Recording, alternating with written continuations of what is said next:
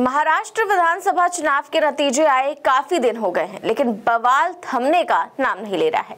विपक्ष के लोग अभी महाराष्ट्र के आए चुनावी नतीजों पर लगातार सवाल ही खड़े कर रहे हैं।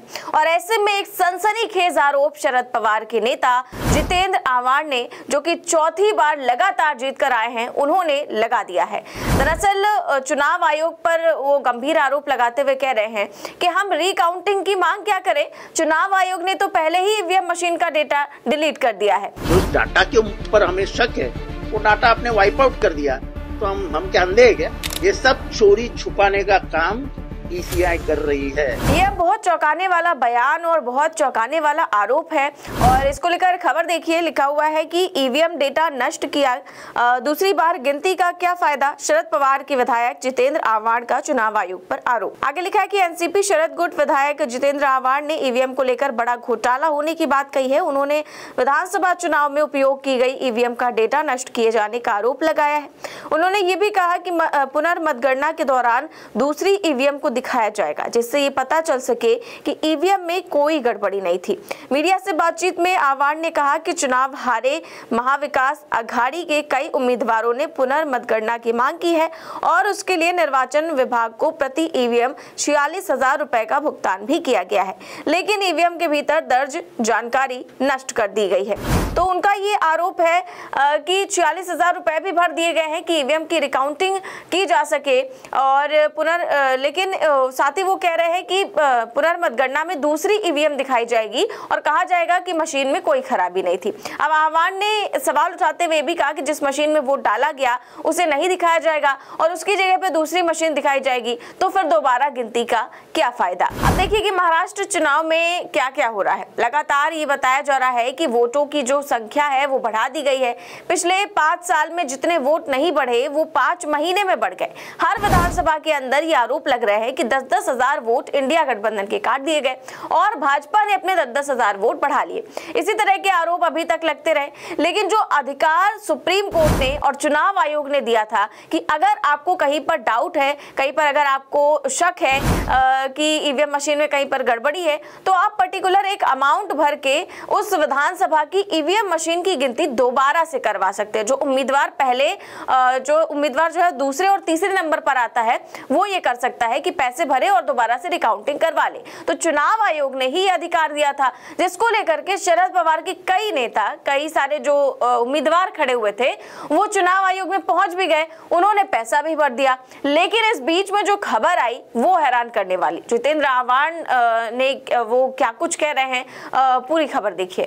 अभी जो मालूम हमको मिली है कि हम फिर से कहते हैं कि हमको फिर से गिनती चाहिए, वो जो रिकाउंटिंग चाहिए।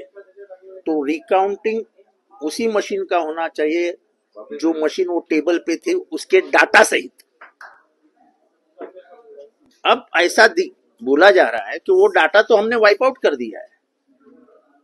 हम नया डाटा दिखाएँगे और काउंटिंग करके दिखाएँगे। तो उसमें कोई आने वाला ही नहीं, कोई गलती नहीं दिखने वाली है।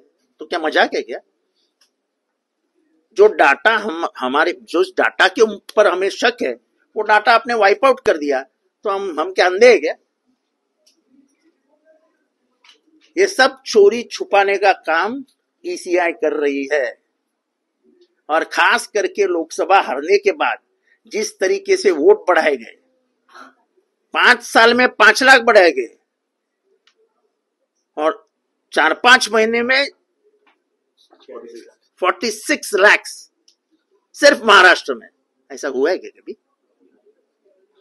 चालीस लाख लोग लाइन लगा के अर्जी भर के गए और उनका नाम आ गया। अरे, इधर दस दस, दो दो साल लगते नाम लाने के लिए। कितने बार तो चार चार बार फॉर्म भरना पड़ता है। अपने मुख्यमंत्री एकनाथ शिंदे जी की भी बेटी होती किस बारे में? हो गया ना कल कल का दिन हो गया अभी। अभी वो आगे में किसकी मुलाकात लेने वाला उसका पूछो ना यार। तो उन्होंने पहले तो ईवीएम को लेकर आरोप लगाए कि ईवीएम का जो डेटा है वो वाइप आउट कर दिया गया है। इसके अलावा उन्होंने और भी कई सारे आरोप लगाए और दावा किया कि लोकसभा चुनाव के बाद चार पाँच महीनों के भीतर महाराष्ट्र में अचानक छियालीस लाख वोट बढ़ गए। और ऐसा ही आरोप आपको याद होगा, कांग्रेस नेता गुरदीप सिंह सप्पल ने भी लगाए थे, जो लगातार इस मामले को लेकर लिख रहे हैं। उन्होंने कहा कि पाँच साल में बत्तीस लाख वोट बढ़े और सिर्फ़ पाँच महीने में छियालीस से सैतालीस लाख वोट हो गए। मतलब 2019 से लेकर 2024 के लोकसभा चुनाव तक 32 लाख वोट आए, जबकि पाँच महीने के अंदर लोकसभा चुनाव से लेकर विधानसभा चुनावों तक 47 लाख वोट पड़ गए। तो ये ऐसे सवाल है जो बहुत गंभीर हैं और इनका जवाब ज़ाहिर सी बात है कि चुनाव आयोग ही दे सकता है और अब तीन दिसंबर को कांग्रेस पार्टी को चुनाव आयोग ने मिलने के लिए बुलाया है। तो कांग्रेस पार्टी की तरफ़ से जो आरोप लगाए गए हैं, उन पर वाकई बात भी होगी या फिर केवल खाना पूर्ति की जाएगी क्योंकि कांग्रेस का शुरुआत से ही आरोप है कि चुनाव आयोग का जो रवैया है वो बहुत ढीला ढाला रहता है। चुनाव के दौरान भी और चुनाव के बाद भी अगर कोई शिकायतें लेकर जाओ तो या तो उन शिकायतों को सुना नहीं जाता या फिर बस उनको रख लिया जाता है और उस पर कोई एक्शन नहीं होता। लेकिन अब जब महाराष्ट्र चुनाव के बाद से ज़बरदस्त तरीके से शिकायतों की बौछार हुई है, विपक्ष ने चुनाव आयोग को लपेटे में लिया, न केवल मशीन पर सवाल उठाए बल्कि पूरी चुनावी प्रक्रिया पर भी सवाल उठाए तो आखिरकार अब मुख्य चुनाव आयुक्त ने तीन दिसंबर को कांग्रेस प्रतिनिधिमंडल को बुलाया है मिलने के लिए। अब बहुत महत्वपूर्ण हो जाता है ये देखना कि चुनाव आयोग अब कांग्रेस पार्टी को मिलने के लिए जब बुला रहा है तो कांग्रेस जब वहाँ पर जाएगी तो चुनाव आयोग में क्या क्या फैक्ट रखेगी और चुनाव आयोग उनका क्या क्या जवाब देता है। बहरहाल, ईवीएम को लेकर के जो मामला है, वो बहुत आगे तक बढ़ चुका है। अब सवाल यही है, इसमें तमाम विपक्षी पार्टियाँ जिस तरीके से जो सामाजिक संगठन है, वो अब सामने आए हैं, लेकिन जो चुनाव आयोग पर प्रेशर वो बना बना पाते हैं या फिर नहीं बना पाते हैं? चुनाव आयोग क्या इन तमाम विपक्षी पार्टियों की बात सुनता है या नहीं सुनता है? या सिरे से खारिज कर देता है? ये सारी चीज़ें देखने वाली बात होंगी। फ़िलहाल इस खबर में बस इतना ही। देश और दुनिया की तमाम बड़ी खबरें जानने के लिए देखते रहिए फोर न्यूज़ नेटवर्क नमस्कार।